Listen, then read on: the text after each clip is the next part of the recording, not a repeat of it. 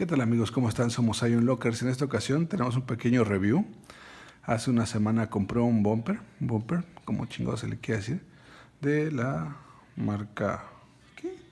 Lupi. Un Lupi, ¿ok? Este es de aluminio. La verdad, el material está excelente, se siente, se siente poca madre el, el diseño, el, el mismo aluminio del iPhone es el mismo que tenemos en el, en el bumper. Como lo pueden ver, queda al ras del equipo. Trae tapado obviamente el conector de el jack de audio, ya que ya no contamos con audio. Este es un 7 Plus.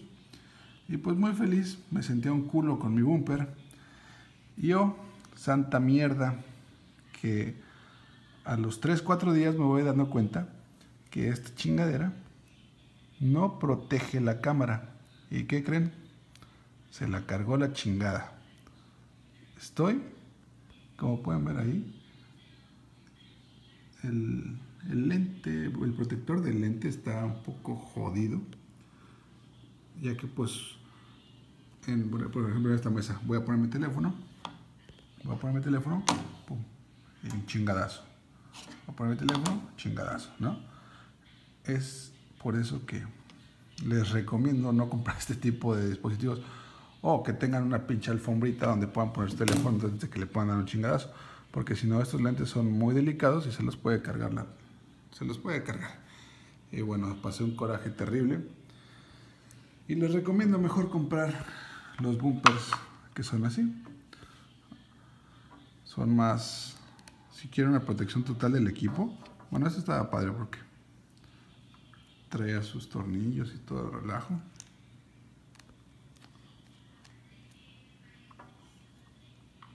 Se moldaba muy muy padre el teléfono, como pueden ver, escucharon, es aluminio totalmente lo que estamos, está protegido de los, de los bordecitos, pero como les repito, la cámara que se la lleve la chingada, ¿no?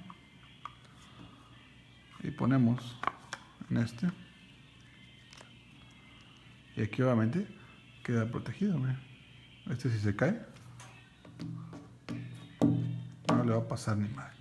Así que si ustedes quieren cuidar un poquito más su inversión, no inviertan en una de estas madres que son caras aparte y mejor compren una de estas otras, la cual va a cuidar su inversión. Muchas gracias por ver este video, de que me vaya la chingada. Somos Ion Lockers y nos vemos en el siguiente. Gracias.